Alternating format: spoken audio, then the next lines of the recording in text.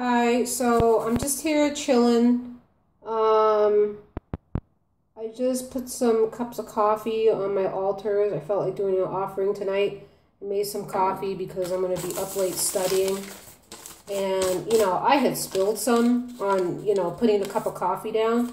And something said, well, why don't you just write out a quick little, uh, you know, prayer request? So I wrote it on a paper bag. Uh, I got that idea from Hoodoo. I'm not sure uh, what's the reason for the paper bag, but um, I wrote it on a paper bag. I just put some Crown of Success oil, so you know I would I would fold it um, fold it towards me, uh, thinking that may my studying endeavors be crowned with success. Was a quick little prayer I wrote out, and I'm going to put it underneath this cup of coffee here for St. Martin. He got the biggest cup tonight. Um, and then I am going to write another one and put this Christmas jar I made last year. A resident gave me this as a gift. She's since passed on. She was um, a registered nurse for a long time. She loved to read and um, I give it a shake. There's sugar, there's um, a candy cane and stuff in there. Um, I'm trying to prop this up, but it's not happening. Um, so I'm going to have to hold it.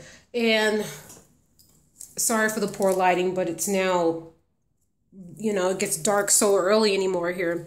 And so I'm going to do that. And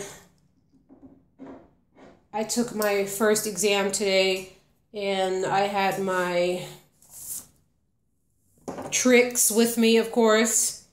All all that Lucky Mojo Crown of Success oil is so good. I anointed my head before with uh, my St. Dymphna oil that I'm almost out of.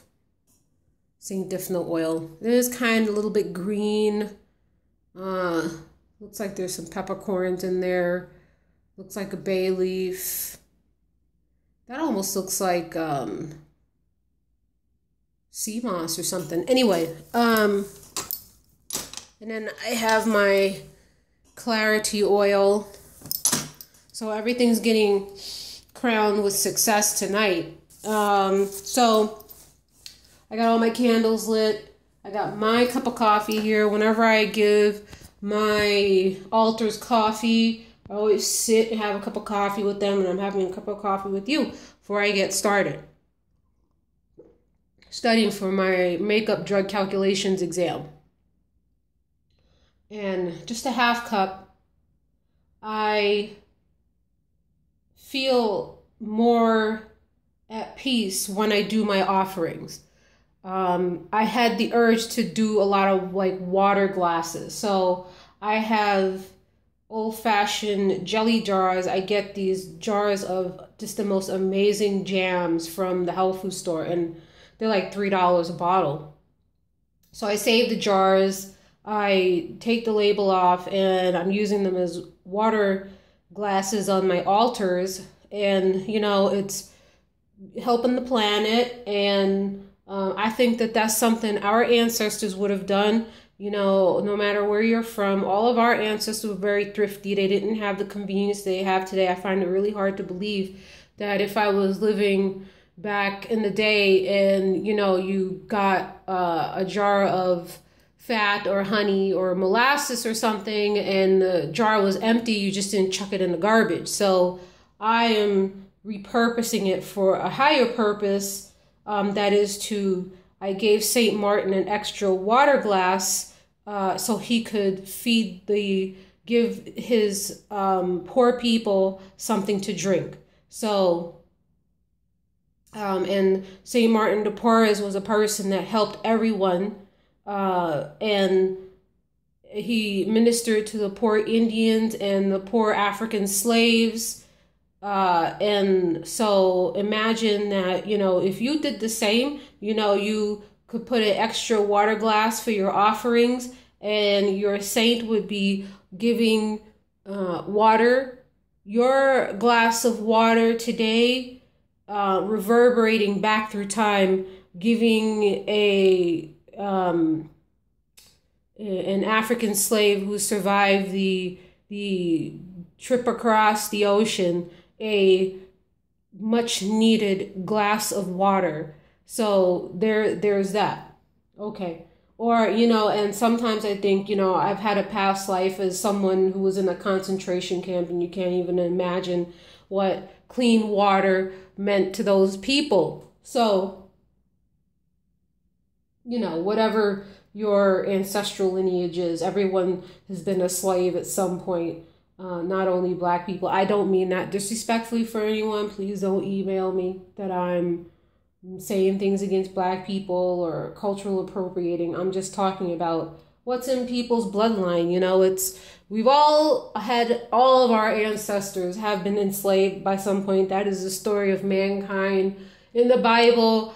Uh, the minute Cain killed Abel, the minute one person was able to have some power over another person it's it's been with us since the dawn of time and it, i don't think it's ever going to go away but that doesn't mean that you know through the you know metaphysical power of quantum physics and you know the supernatural that we can help someone back in the day and we can change things okay so I'll show you my little setup. You see, I have my cup of coffee, and I'm not particularly worried about damaging this table. This table um, was part of a furniture set my mom gave to me uh, even before I got married, and um, so anything goes. I could guess I could have like some clean altar cloths on here, but I'm not worried about it. I'm going to visit my mom this week and get some uh, things for fancy stuff for my altars. And I might go to the Botanica and buy um, a Santisima Muerte statue. I don't know if that's going to happen. I would have to hide it from my mom. So, uh, and so the blue lady could have company. Um, the blue lady, the blue lady is the ruler of the house. The blue lady is my mental health, my memory, and things like that. And uh, I wanted to get some pretties for her for Christmas, and I'm not sure how I'm gonna do that. I have this is finals week. Um, she's giving me this look like, well, why don't you ask me? Uh, you know, so she's got that thing pointed right at me. You know, it's funny when I took her out of the closet when I was putting her in the closet so long ago, and the thing twirled around and pointed directly at me.